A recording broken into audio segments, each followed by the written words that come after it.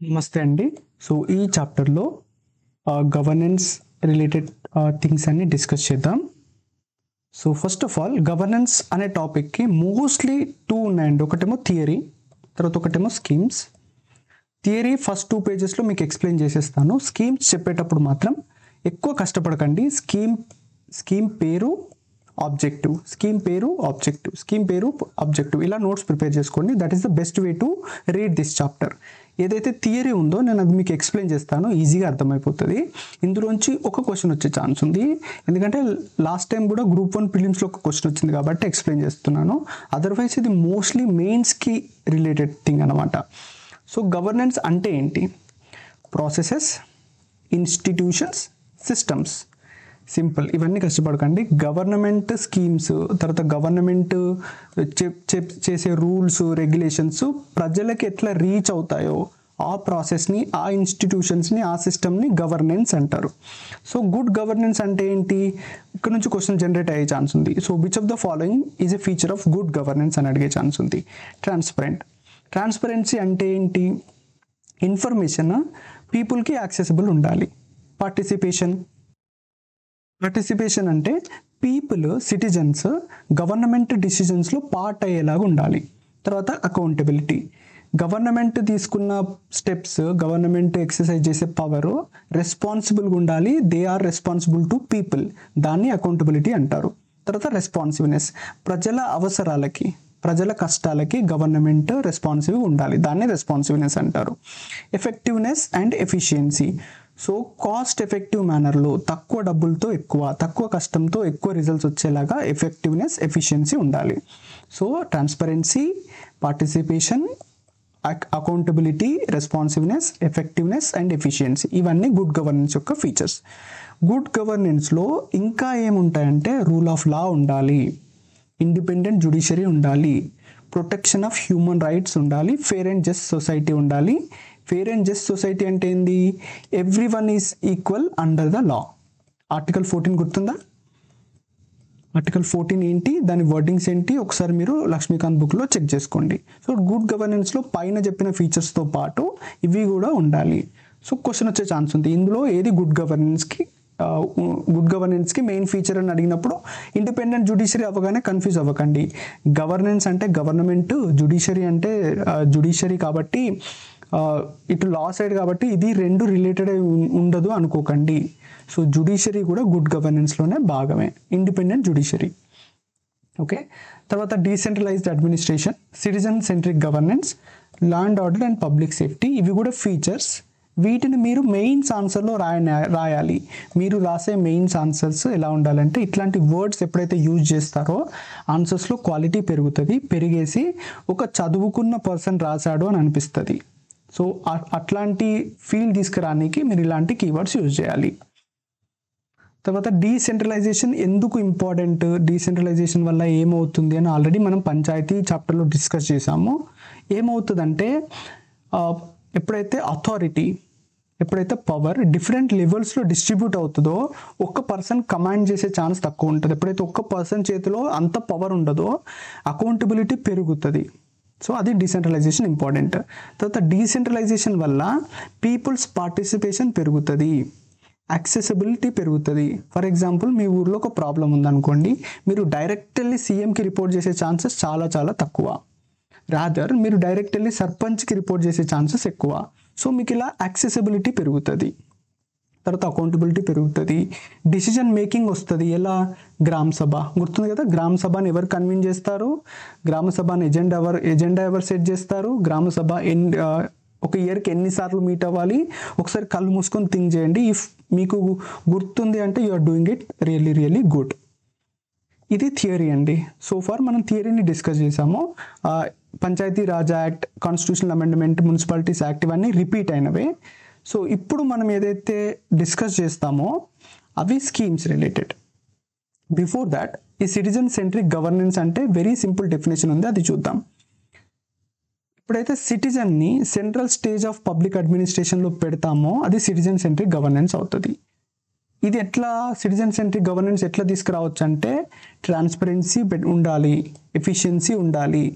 Stability and continuity of government system ఉన్నప్పుడు citizen centric governance అనేది possible so question ఎలా వస్తుంది?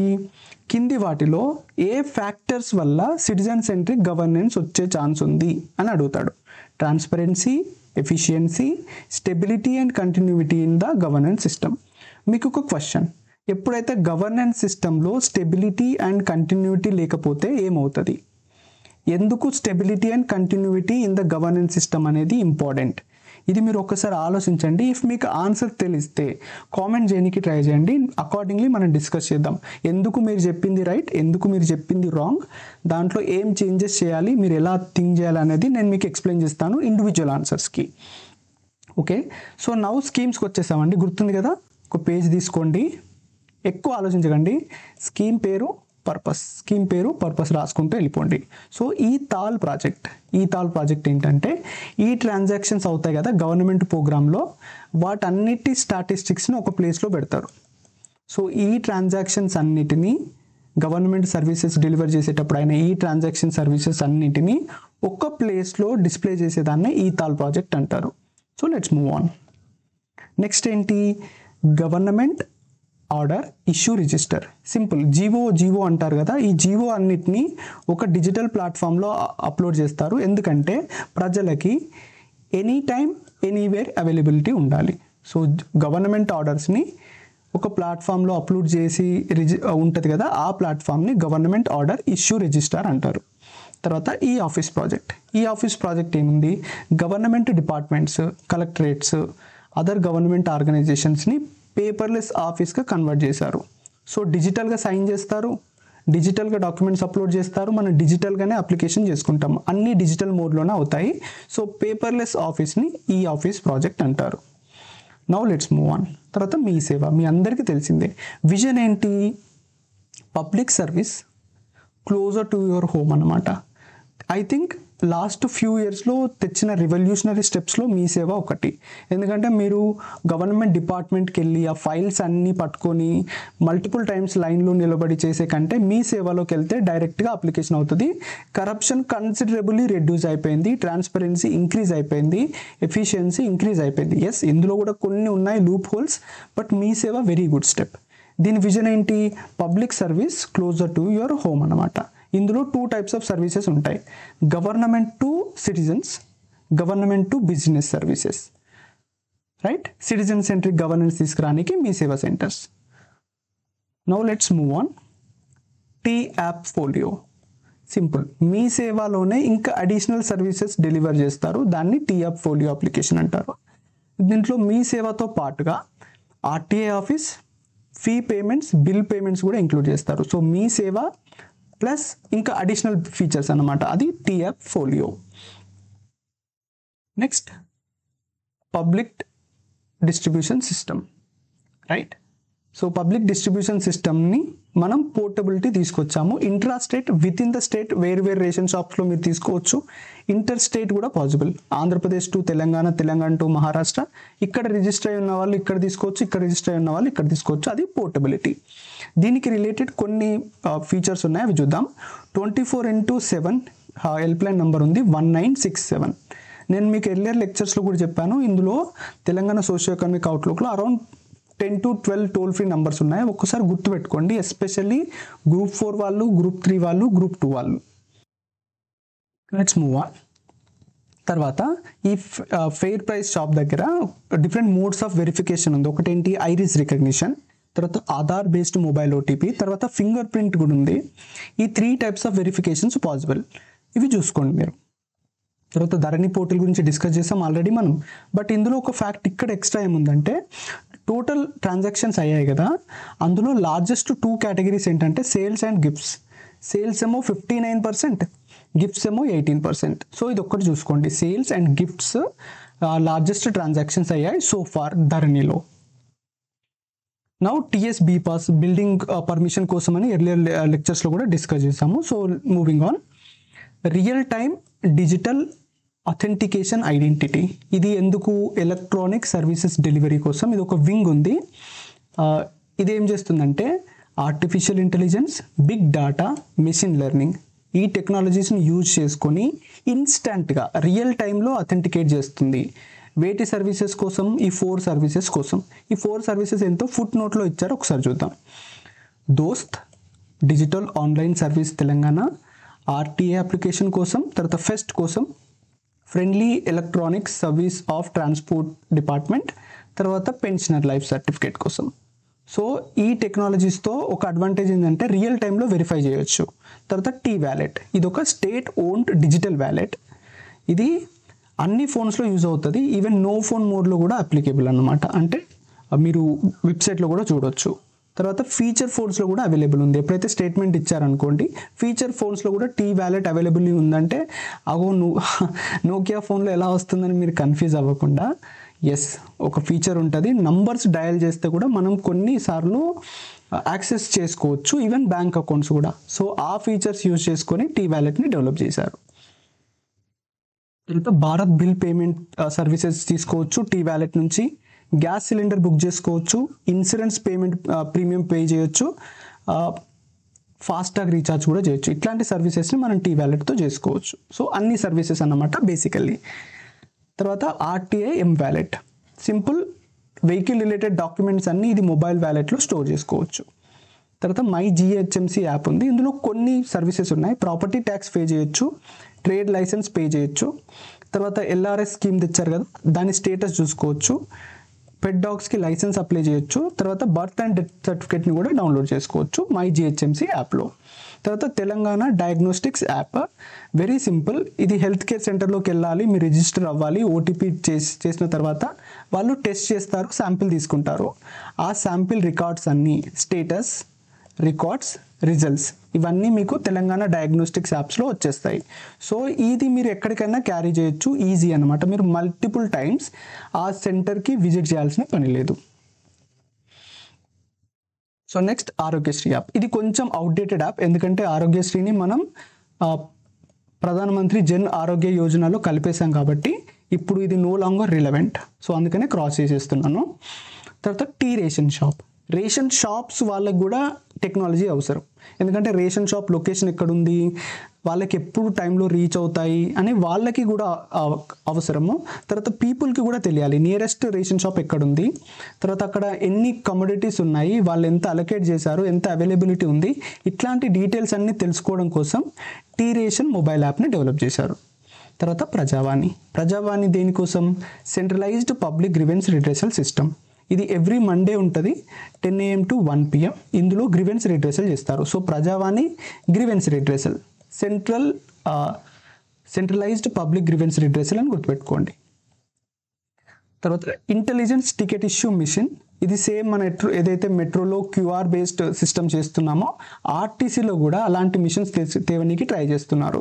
So intelligence ticket issue machine is related to RTC అలా గుర్తుపెట్టుకోండి. తర్వాత T Savari app. Simple Savari means moving కదా? Moving transportation so అన్ని transportation సర్వీసెస్కి రిలేటెడ్ ఇన్ఫర్మేషన్ ఇవ్వనీకి టికెట్స్ బుక్ చేసుకోనికి కంప్లైంట్స్ రైజ్ చేయడానికి T Savari app.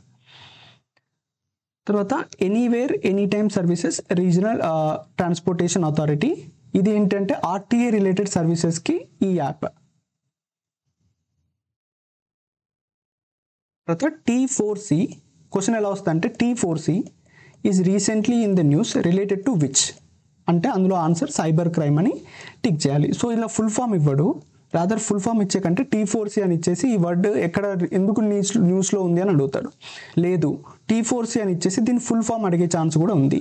So Telangana cyber crime coordination center ఇది twenty four seven call center ఇస్తుంది. సైబర్ క్రై సైబర్ ఫ్రాడ్ అయితే వీళ్ళకి కాల్ చేసేసి మనం కంప్లైంట్స్ రిజిస్టర్ చేయొచ్చు. తర్వాత తెలంగాణ నార్కోటిక్స్ బ్యూరో ఉంది. ఇది ఎందుకు అంటే డ్రగ్ ట్రాఫికింగ్ కోసమా? తర్వాత ఇది నేషనల్ లెవెల్లో మనకేముంది? Narcotics control bureau of India ఉంది. దీనికి స్టేట్ లెవెల్ ఆర్గనైజేషన్స్ కూడా ఉండాలి కదా. దాన్ని డెవలప్ చేయడం కోసమే తెలంగాణ నార్కోటిక్స్ బ్యూరో ఉంది. ఇక్కడ గవర్నమెంట్ ఏం చేస్తుందంటే ACP assistant commissioner of police level ఆఫీసర్స్ని హెడ్గా చేసేసి చేసేసి ఇక్కడ వింగ్స్ని ఏర్పాటు చేసింది. ఎందుకు ఇంత హై లెవెల్ అఫీషియల్స్ నుంచి చేస్తున్నారంటే first of all technology learning వాళ్ళకి ఫాస్ట్ ఉంటుంది. తర్వాత సెకండ్ వాళ్ళు రిలేటివ్లీ హయ్యర్ ఎడ్యుకేటెడ్ పీపుల్ ఉంటారు. తర్వాత మోర్ అవేర్ ఆఫ్ లా ఉంటారు. థర్డ్ ఏంటి అంటే సోషో ఎకనామిక్ రియాలిటీస్ వీళ్ళకి ఐడియా ఉంటుంది. తర్వాత ఫోర్త్ ఏంటంటే సిన్సియారిటీ కూడా చూపెట్టనీకి అనమాట సో ఇవన్నీ ఫ్యాక్టర్స్ కన్సిడర్ చేసుకోనికి ఈచ్ వింగ్కి ఎవరు హెడ్ ఉంటారంటే assistant commission of police level officers. Then Hawk Eye app. Hawk Eye app ఏంటి? క్రికెట్ రిలేటెడ్ కాదు. So Hawk Eye app is related to Telangana police. ఇది ఎస్ఓఎస్ బటన్ ఉంది. So simple మీరు ఎప్పుడైతే ఎమర్జెన్సీలో ఉన్నారో ఎస్ఓఎస్ ఆప్షన్ యూజ్ చేసుకొని పోలీస్కి కంప్లైంట్ చేయొచ్చు. హాకై యాప్ ఇది ఫెసిలిటేట్ చేస్తుంది. తర్వాత very fast app very fast app passport verification అంతకుముందు ఎలా ఉంటుందంటే పోలీస్ ఇంటికి వచ్చి వెరిఫై చేసేవారు. నవ్వు ఇప్పుడు ఏం చేస్తున్నారంటే డిజిటల్ మోడ్లోనే చేస్తున్నారు. ఫోర్ డేస్లో చేసేస్తున్నారు. ఇది నేషనల్ యావరేజ్ ఎంత? Twenty one days so almost మనం వన్ ఫిఫ్త్ టైం తగ్గించేసాము అండ్ పోలీస్ వెరిఫికేషన్ తగ్గడం వల్ల కరప్షన్ ఇట్లాంటివి కూడా తగ్గాయి. సో ఇప్పుడు ఆన్లైన్ మోడ్లోనే ఫేస్లెస్గా వెరిఫై చేసేస్తున్నారు. తర్వాత AI based traffic control system ఇది ఎక్కడ మీరు యూజ్ చేయాలి అంటే technology application in the day to day lifes of people technology application in the administration అని రాసినప్పుడు మీ ఆన్సర్స్లో example AI based traffic signal అనేసి మీరు రాసేయాలి మీ ఆన్సర్స్లో యాజ్ ఎ కేస్ స్టడీ తర్వాత Hyderabad traffic integrated management system ఉంది కదా. ఇక్కడ ఒక కైండ్ ఆఫ్ టెక్నాలజీని ఏం వాడుతున్నారంటే అడాప్టివ్ ట్రాఫిక్ కంట్రోల్ సిస్టమ్ వాడుతున్నారు. ఇది హైదరాబాద్లో అవైలబుల్ ఉంది. Right adaptive traffic control system ఏ సిటీలో అవైలబుల్ ఉందని క్వశ్చన్ వస్తుంది. ఇఫ్ వస్తే అదేం చేస్తారు? హైదరాబాద్. దీనివల్ల ఏమవుతుందంటే వెయిటింగ్ టైం తక్కువ అవుతుంది ఫ్యూయల్ కాస్ట్ తక్కువ అవుతుంది గ్రీన్ హౌస్ ఎమిషన్స్ తక్కువ అయిపోతాయి so now let's move on CybHer safety for her అని ఉమెన్ సేఫ్టీ వింగ్ ఉంది సైబ్ హర్లో ఇక్కడ ఏం చేస్తారంటే ఉమెన్కి రిలేటెడ్ ఉమెన్ డిజిటల్ వరల్డ్లో కూడా సేఫ్ ఉండాలని ఉమెన్కి చిల్డ్రన్కి అవేర్నెస్ జనరేషన్ తర్వాత కంప్లైంట్ రిజిస్ట్రేషన్ చేస్తారు. తర్వాత కంప్లైంట్ ఒక్కోసారి ఫిల్ చేయడం ఇబ్బంది అవుతుంది కదా. దానికోసం క్యూఆర్ కోడ్ మెకానిజం తీసుకొచ్చారు. సింపుల్గా ఒక ఉమెన్ క్యూఆర్ కోడ్ని స్కాన్ చేసేసి వాళ్ళకి కావాల్సిన అవేర్నెస్ వాళ్ళకి కావాల్సిన కంప్లైంట్స్ రైజ్ చేయొచ్చు.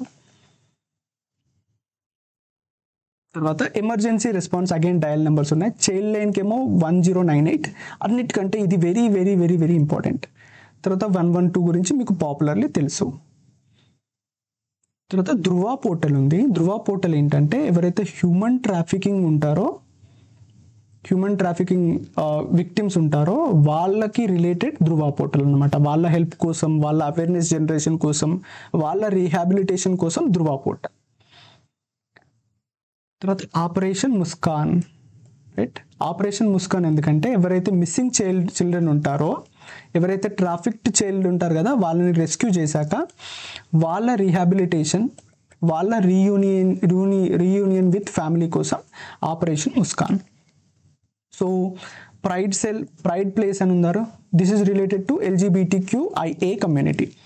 ఇందులో ఒక్కోసారి క్వశ్చన్ ఏమొస్తుందంటే వీటి ఫుల్ ఫామ్ అడిగే ఛాన్స్ ఉంది. So lesbian gay bisexual queer intersex and asexual so ఇవన్నీ వర్డ్స్ కూడా గుర్తుపెట్టుకోండి. Lesbian gay bisexual queer intersex and asexual couple వీళ్ళందరికీ pride place initiative applicable so Bharosa centers Bharosa centers అంటే విక్ క్రైమ్స్ క్రైమ్స్ కమిట్ అయ్యారు. ఇందులో victims ఉంటారు కదా వాళ్ళ సపోర్ట్ అండ్ అసిస్టెన్స్ కోసం భరోసా ఒక ధైర్యం చెప్పేదన్నమాట. ఇది అందరికీ అప్లికేబుల్ బట్ ఉమెన్కి చిల్డ్రన్కి స్పెషల్ ఫోకస్ ఇస్తారు. సో లెట్స్ మూవ్ ఆన్ తర్వాత ఈ ములాఖాత్. ఈ ములాఖాత్ కోసం ఎవరి కోసం అంటే ప్రిజనర్స్ కోసం వాళ్ళ ఫ్యామిలీకి త్రూ వీడియో కాన్ఫరెన్సింగ్ తర్వాత ఉన్నతి ప్రోగ్రామ్ సింపుల్ ఈ ప్రిజనర్స్కి ఉంటారు కదా వాళ్ళకి వన్ మంత్ ఒక కోర్స్ అన్నమాట. దీనివల్ల ఏం చేస్తారంటే ప్రిజనర్స్ మారిపోయి వాళ్ళు రెసిడివిజం తగ్గిస్తుంది. సో రెసిడివిజం అంటే ఏంటంటే ఒకరు క్రమిట్ క్రైమ్ కమిట్ అయ్యారు. వాళ్ళకి జైలు శిక్ష వేసేసాము. వన్ ఇయర్ జైల్లో ఉన్నారు. ఒక్కోసారి ఏమైపోతుంది? వీళ్ళకి ఈ వన్ ఇయర్ జైల్ టైంలో మారడం కాకుండా మహా అయితే ఏముంది? వన్ ఇయర్ జైల్లో ఉంటా. సో మళ్ళీ బయటికి వెళ్ళి క్రైమ్ చేస్తానే మైండ్ సెట్ డెవలప్ చేసుకుంటారు. అది రెసిడివిజం అన్నమాట. ఇది తగ్గియనీకి. ఒక వన్ మంత్ ట్రైనింగ్ కోర్సు చెప్తారు. సో వాళ్ళు అందులో ఏం చెప్తారంటే బిహేవియర్ ఎలా ఎలా ఉండాలి సొసైటీలో ఎలా ఉండాలి సొసైటీలో మంచి ఆపర్చునిటీస్ ఏమున్నాయి మంచి వాళ్ళుగా ఉండడం ఎందుకు ఇంపార్టెంట్ అనేది ఒక స్కిల్ డెవలప్మెంట్ అన్నమాట. దెన్ అంబేద్కర్ యూనివర్సిటీ వాళ్ళు ఇగ్నోయి వాళ్ళు కలిసి ఒక స్టడీ సెంటర్ని కూడా ఎస్టాబ్లిష్ చేశారు ప్రిజనర్స్ కోసం. మహా పరివర్తన్ మహాపరివర్తన్. ప్రిజనర్స్ ఉంటారు కదా వాళ్ళకి ఇంట్రెస్ట్ ఫ్రీ లోన్స్ ఇస్తారు. ఎవరైతే గుడ్ బిహేవియర్తో ఉంటారో ఎందుకు ఇంట్రెస్ట్ ఫ్రీ లోన్స్ అంటే వాళ్ళు బయటికి వెళ్ళి ఒక బిజినెస్ లేకపోతే ఒక ఎంప్లాయ్మెంట్ ఆపర్చునిటీ క్రియేట్ చేసుకోనికి. సో మహాపరివర్తన్ అలా యూస్ అవుతుంది. తర్వాత టీఎస్పిఎస్సి మన ఫేవరెట్ టీఎస్పిఎస్సి డైరెక్ట్ రిక్రూట్మెంట్స్ ఎన్ని ఇచ్చారు వేకెన్సీస్ ఎన్ని ఇచ్చారు? డిఫరెంట్ డిఫరెంట్ సర్వీసెస్కి ఎలా ఉందని ఉన్నారు మేబీ క్వశ్చన్ రాకపోతుండొచ్చు. జస్ట్ మీ అవేర్నెస్ మనకి రిలేటెడ్ ఫ్యాక్ట్ కాబట్టి ఇక్కడ హైలైట్ చేశాను. తర్వాత ఇంటిగ్రేటెడ్ డిస్ట్రిక్ట్ ఆఫీస్ కాంప్లెక్సెస్ ఉన్నాయి. ఇది మిషన్ గతిశక్తికి మీరు అసైన్ చేయొచ్చు. అంటే ఒక్కొక్క డిపార్ట్మెంట్ ఒక్కొక్క ప్లేస్లో ఉంటే ఇక్కడ నుంచి ఇక్కడికి ఇక్కడ నుంచి ఇక్కడికి ఇక్కడ నుంచి ఇక్కడికి చాలా దూరం ట్రావెల్ చేసి వచ్చే చేయాల్సి వచ్చేది. ఇప్పుడు ఇంటిగ్రేటెడ్ డిస్ట్రిక్ట్ ఆఫీస్ కాంప్లెక్స్ వల్ల ఒకటే కాంప్లెక్స్లో అన్ని డిఫరెంట్ డిఫరెంట్ డిపార్ట్మెంట్స్ ఉన్నాయి. ఇది ఇంప్రూవ్ చేస్తుంది గవర్నెన్స్ని తర్వాత integrated financial management and information system simple వర్డ్లోనే ఉంది. ఫినాన్షియల్ మేనేజ్మెంట్ సిస్టమ్ అన్ని డిపార్ట్మెంట్ల డాటా అన్ని డిపార్ట్మెంట్ల payment management financial analytics reporting ఇవన్నీ ఈ ప్లాట్ఫామ్లో ఉంటాయి. So Telangana state development planning society ఇది ఏం చేస్తుంది అంటే వెదర్ మానిటరింగ్ చేస్తుంది వెదర్ ఫోర్కాస్టింగ్ చేస్తుంది తర్వాత వెదర్ ఇన్ఫర్మేషన్ని ఇచ్చేస్తుంది పీపుల్ అందరికీ. ఎందుకు? పబ్లిక్ గవర్నెన్స్ కోసం. తర్వాత ఈ వెదర్ రిలేటెడ్ డాటాతో పాటు గవర్నమెంట్ స్కీమ్ రిలేటెడ్ డాటాను కూడా పబ్లిక్ ఇస్తుంది. సో దట్ ట్రాన్స్పరెన్సీ పెరుగుతుంది ఇన్ఫర్మేషన్ పెరుగుతుందని. సో వెదర్ మానిటరింగ్ గురించి ఏం చేస్తున్నాం మనము? Real time weather basis alert ఇస్తున్నాము. తర్వాత Telangana state remote sensing application centre ఉంది కదా. ఇది ఏం చేస్తుందంటే ఇది నోడల్ ఏజెన్సీ మన తెలంగాణలో జిఐఎస్ జీపీఐ టెక్నాలజీ ఏదైతే యూజ్ చేసుకుంటామో దానికి నోడల్ సెంటర్ ఇది. ఈ జిఐఎస్ టెక్నాలజీస్ డెవలప్ చేయడము ప్రజలకు ఇన్ఫర్మేషన్ డెసిమేట్ చేయడము వీళ్ళ responsibility Telangana state remote sensing application centre ఈ ఈ జిఎస్ వాళ్ళతోటి మనం ఏం చేయొచ్చు అంటే ప్లాన్ చేయొచ్చు డెవలప్ చేయొచ్చు మానిటర్ చేయొచ్చు న్యాచురల్ రిసోర్సెస్ని సో ప్లానింగ్ ఏంటి? వాటర్ అవైలబిలిటీ ఎంత ఉంది? సో ఇక్కడ ఏం కన్స్ట్రక్షన్ చేయాలి? తర్వాత ఒక రివర్ ఎంత వరకు బ్రీచ్ అయ్యే ఛాన్స్ ఉంది? సో అక్కడ వరకు కన్స్ట్రక్షన్స్ అలో చేయరు. ఫర్ ఎగ్జాంపుల్ ఇది ఒక రివర్ వర్షం వచ్చినప్పుడు రివర్ ఇక్కడ దాకా వస్తుంది అనుకోండి. సో ఇది ఒకటి జిఏఎస్తో మార్క్ చేసి పెడతారు. పర్మిషన్స్ ఇచ్చేటప్పుడు ఇక్కడ వరకు మాత్రమే ఇస్తారు. ఈ ఏరియాలో నువ్వు బిల్డింగ్ కట్టుకుంటా అంటే పర్మిషన్ ఇవ్వరు. సో ఇలా ప్లానింగ్ డెవలప్మెంట్ మానిటరింగ్ చేస్తారు. తర్వాత డ్రాట్ మానిటరింగ్ సిస్టమ్ చేస్తారు. అగ్రికల్చర్ ల్యాండ్ని సర్వే చేస్తారు. సో ఇవన్నీ జిఏఎస్ మ్యాపింగ్ అనమాట సో ఇంతకుముందు చెప్పా కదా పిఎం గతిశక్తి. పిఎం గతిశక్తి అంటే అన్ని డిపార్ట్మెంట్స్ కలిసి పని చేయాలి ఒక డిపార్ట్మెంట్ డాటా ఇంకో డిపార్ట్మెంట్ యూజ్ చేసుకోవాలన్నది పిఎం గతిశక్తి యొక్క మెయిన్ ఉద్దేశం. సో వెరీ క్విక్లీ ఫినిష్ చేసేద్దాం. External partnership with centre for effective governance of Indian states దీంతో ఏం చేస్తున్నాం? బెటర్ సర్వీస్ డెలివరీ కోసం గవర్నమెంట్ వీళ్ళతో పార్ట్నర్షిప్ చేస్తుంది. సో అంత గుర్తుపెట్టుకోవాల్సిన పని లేదు. తర్వాత కాకతీయ గవర్నెన్స్ ఫెలోషిప్ ఎవరికి ఇచ్చారంటే సెవెంటీన్ క్వాలిఫైడ్ యంగ్ ప్రొఫెషనల్స్ ఉన్నారు. డిఫరెంట్ ఇన్స్టిట్యూషన్స్ తీసుకొని వీళ్ళకి ఫెలోషిప్ ఇచ్చారు. ఏం చేస్తారంటే వీళ్ళు evidence based policy road map road map ఎలా చేయాలి అనేది గవర్నమెంట్కి అడ్వైజ్ ఇస్తారు.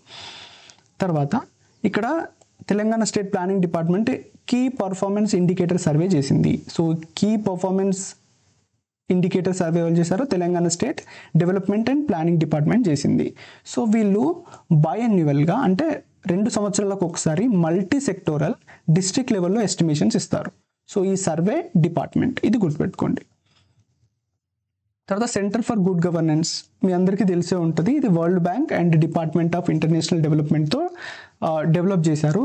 ఇదేంటి అంటే ఒక అప్లికేషన్ ఇందులో Dost admissions scholarships online grievance redressal mechanisms అన్నిటికీ ఇది హోస్ట్ చేస్తుంది. ఓకే సో వే ఫార్వర్డ్లో డిస్కస్ చేశారు. ఇందులో వెరీ వెరీ గుడ్ కీవర్డ్స్ ఉన్నాయి. మీరు మెయిన్స్ రాసే టైంలో వచ్చి చూసుకోండి. ఓకే సో విత్ దిస్ మనం తెలంగాణ సోషియో ఎకనామిక్ అవుట్లుక్ని ఫస్ట్ చాప్టర్ నుంచి ఫిఫ్ ఫిఫ్టీన్ చాప్టర్ వరకు ఫినిష్ చేసాము సో మీకేమో తెలియదు కానీ నాకైతే వెరీ గుడ్ లెర్నింగ్ ఎక్స్పీరియన్స్. చాలా నేర్చుకున్నాను మీకు చెప్పే ప్రాసెస్లో ఈ యూట్యూబ్ ప్రాసెస్లో. ఐ హోప్ ఇందులో నుంచి మీరు ఒక టెన్ అవర్స్ ఇన్వెస్ట్ చేస్తే at least eight to ten questions వచ్చాయనుకోండి very happy. ఈ ఎయిట్ టు టెన్ క్వశ్చన్స్ మీ లైఫ్ చేంజ్ చేయగలుగుతాయి. ఎందుకంటే మీరు వన్ డేలో టెన్ అవర్స్ ఇన్వెస్ట్ చేసేసి ఒక ఫైవ్ సిక్స్ క్వశ్చన్స్ తెచ్చుకున్నా కూడా ఎగ్జామ్లో మీరు బెటర్ పర్ఫార్మెన్స్ చేయగలుగుతారు. So I hope you use this all the lectures carefully and optimally so again మళ్ళీ కలుద్దాం and thank you so much అన్ని లెక్చర్స్ని ఇంత పేషెన్స్తో చూసినందుకు.